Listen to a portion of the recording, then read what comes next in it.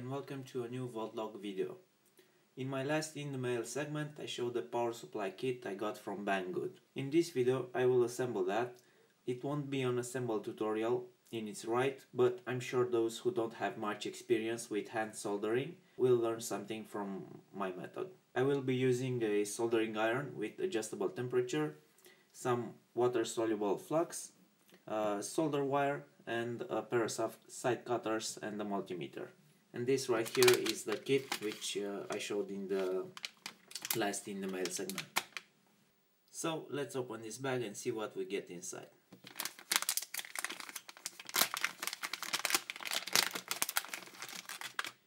We get a pair of what seems to be JST connectors.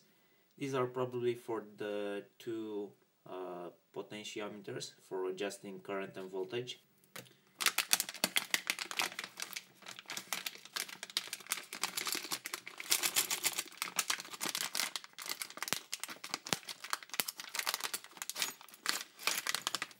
Get the PCB of course.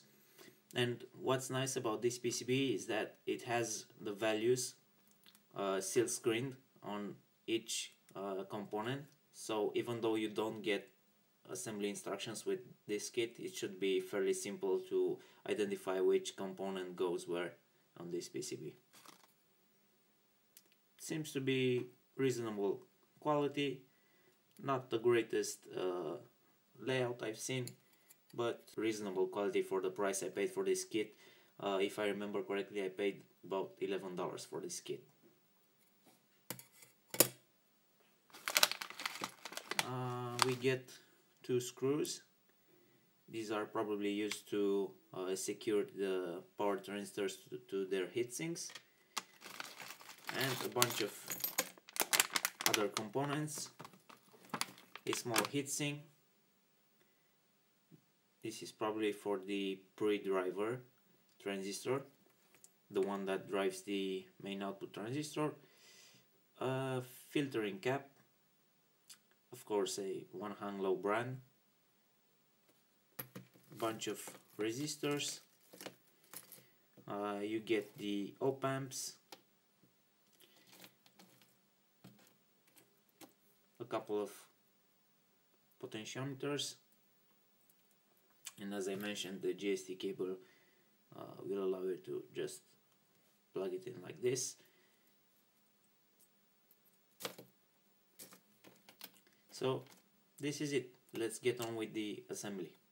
I did move the camera a bit to the left side so that I can get in here and uh, work on the PCB a little bit better than having the camera right in front of me. Now you might ask yourself is there a special order in which uh, you solder the components on the PCB and the answer depends but what I like to do is to first solder all the small uh, components like uh, uh resistors and, and diodes uh, because they will be sitting at the lowest level closest to the PCB and it would be difficult to handle them if you had for example big capacitors and uh, power transistors right next to the small components. So I like to start with the small components first. Before starting uh, don't forget the golden rule of soldering, thou shall use flux. Flux is good for soldering, it will make your life easier. In this case I'm using water soluble flux and solder wire so that I can give the board a good rinse in water after I'm finished and it will remove all flux residue. In this case I'm using the Kester uh, 2331 ZX. Be careful though, water soluble flux is highly corrosive if left on the board so you'd better clean that stuff. However, it does have the advantage that you can clean it off with plain water instead of using cleaning solvents like uh, isopropyl alcohol and other special cleaning compounds. A good PCB design will always have silk screen models that clearly indicate the polarity of components. So, uh, for example, for diode it should be clearly visible which way is the cathode or the anode. This will help a lot during assembly or inspection. And the same rule applies for all other polarized components. In our case we can see the capacitor here clearly has its plus and uh, minus side marked in the silk screen and uh, the same applies for the other capacitors. Uh, the IC circuits have the key uh, marking which indicates pin 1 right here on the left and the diodes have their cathodes marked. So now that I have my uh, first resistor placed on the board I will uh, turn the board on the other side and apply some flux.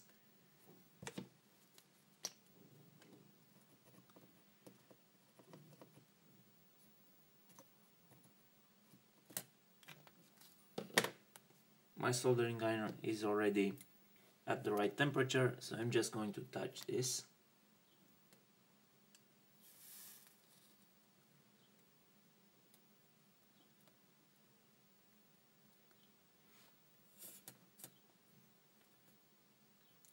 same for the other joint.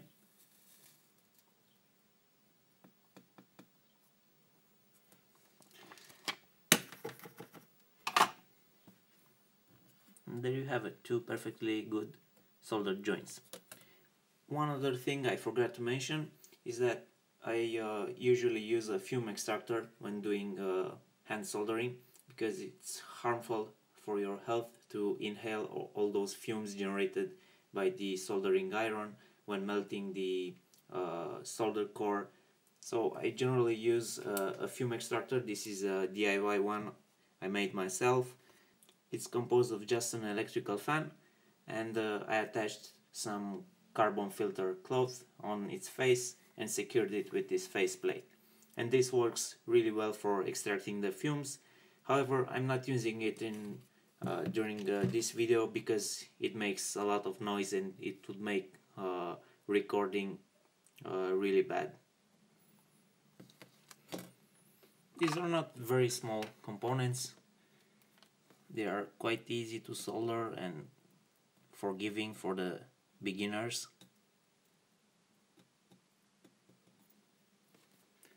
And if, even if it happens to uh, damage one of these components, they are all jelly bean components that you can get at, at your local distributor, so you don't have to worry that much. You're probably only going to be delayed in your uh, assembly of the circuit if you need to order and replace some of the parts you damaged during assembly.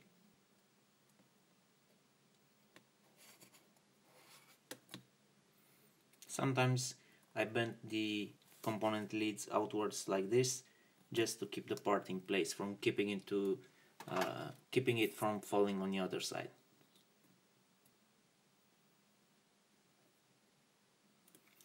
It doesn't matter which way you solder the resistors, but it's nice to keep a rule for um, all the same orientation on the PCB. Uh, so, for example, if you have all the resistors that are horizontally on your PCB, they should all have their uh, starting uh, marking on the left to make it easier to to read during uh, repair or inspection afterwards.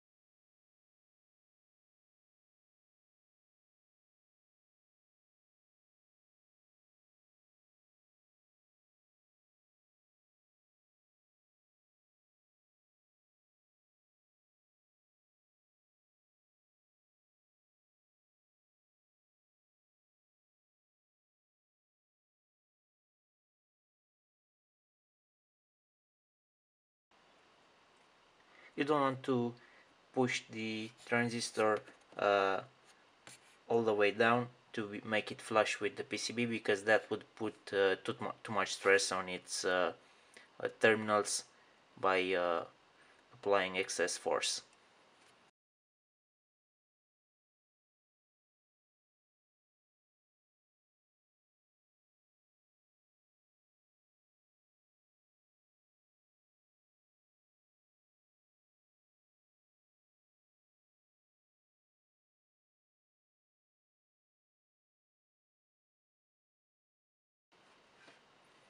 At this point it's important not to apply too much solder uh, to avoid creating solder bridges between the pins which are only 0.1 inch uh, away from each other.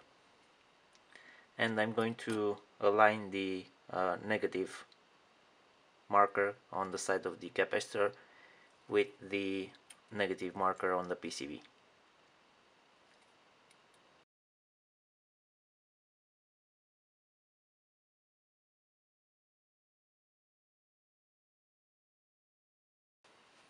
I do have one of those uh, plastic things that will help you bend component terminals at the right spacing but I can't be bothered searching for that because it's one of my toolboxes. So I'm just going to use this pair of pliers to bend the terminals on these diodes. That's about right. Now for this part right here we have a 7824 which is uh, of course a 24 volt linear regulator and 0.1 inch uh, 2 pin connector for a cooling fan. Of course this being a linear power supply it will need some cooling if you want to achieve the uh, 2 or uh, 3 amps which is rated for. But I'm not going to assemble this section at all because uh, even if I'm going to use cooling on this power supply it will be a 12 volt one and I will probably use a 12 volt uh, switch mode or linear uh, power supply uh, separate from this PCB just to power my uh, cooling fan which will be 12, 12 volts as those are the most common ones you can find.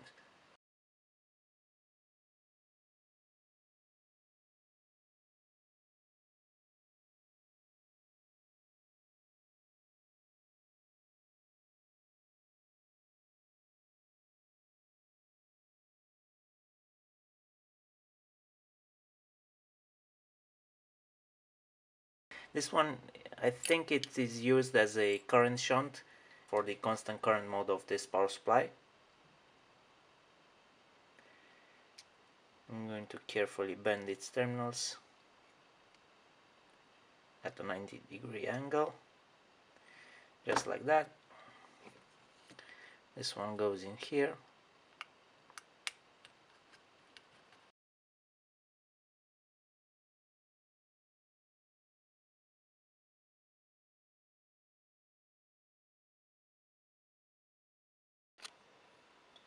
you don't get any heatsink for the output transistor you have to provide uh, your own heatsink but since I won't be using this at full power or even at any load I will just be assembling it and uh, testing the output voltage without putting uh, too much load on it. It should be good enough just freestanding in the air. But of course if you are going to use this power supply adequate uh, heatsink is required I'm going to solder it as far away as possible from the PCB just to keep uh, more from its leads because those act as heat sinks also. You can see most of the solder was sucked away on the top side of the PCB and we still have some leads to cut and our power supply assembly is pretty much finished. We need to add in the uh, potentiometers. Now that I finished soldering the board I will give it a thorough cleaning using water and this uh, anti-static brush.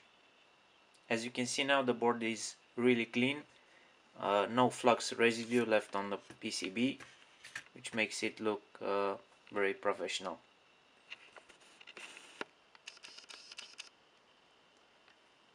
Now to test this circuit I'm going to use my HP power supply.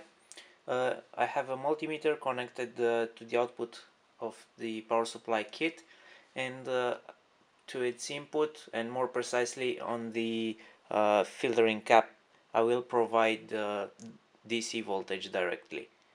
Uh, there's no need to go through the rectifying diodes.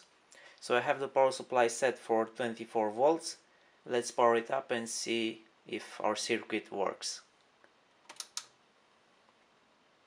No it's not right. We're only getting 400 millivolts on the output of our power supply and it is drawing uh, 90 close to 100 milliamps. And I don't think it should be drawing that much with no load. Let's try adjusting the pots I am turning this full scale and there is practically no change on the output voltage. So something is definitely wrong with this power supply. Let's do some temperature checking.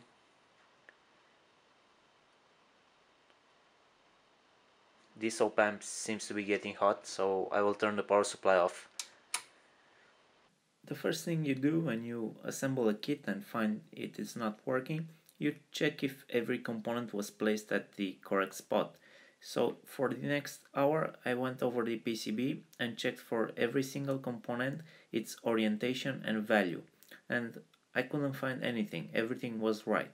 The next thing I did was to improvise some 8-pin sockets. I basically cut them from uh, ones that uh, had higher pin count. This allowed me to swap all the op amps for new ones, but this didn't help either. The power supply was behaving exactly the same that's when I decided to step back and try to understand the circuit better to know where to look for the problem. I reverse engineered the PCB and got a schematic for it, which, as expected, was identical to the one posted on the Electronics Lab website years ago, except for the values for some Zener diodes, which instead of uh, 5.6 volts on the uh, Chinese kit version were 5.1 volts. Luckily, there was also a circuit description there, and reading that helped me understand where my problem was. The thing is, this circuit generates a negative voltage to power the negative rails of the op amps. And to do that, it uses a reverse diode capacitor voltage multiplier, which works with AC voltage tapped from the AC input. So no AC, no negative voltage for the op amps but this should only limit the power supply by not going down to 0 volts when adjusting it, not cripple it completely and making it useless. There is also a protection feature on this power supply that clamps the output to ground when the power supply is turned off, thus avoiding uncontrolled situations. This clamping occurs when the negative supply rail collapses, which is logic because that's when the power supply is turning off. But what happens if you don't have any negative rail because you are using DC at the input? Right, the output is always clamped, so the power supply is not actually working. This is what happens when you are building circuits without a schematic. You don't know how they work exactly and it can make you assume things that are not right. In my case, the power supply was working all along. There was nothing wrong with the power supply, but simply the fact that I was supplying DC at its input instead of AC voltage. So here is the power supply working with the AC input from this toroidal transformer. I would uh, recommend fitting it with some 10 turn pots so you can better adjust voltage and current and uh, you can also move the constant current uh, indicator LED to the front panel of your case. I hope you found this episode interesting. Please hit the like button below and subscribe. See you next time.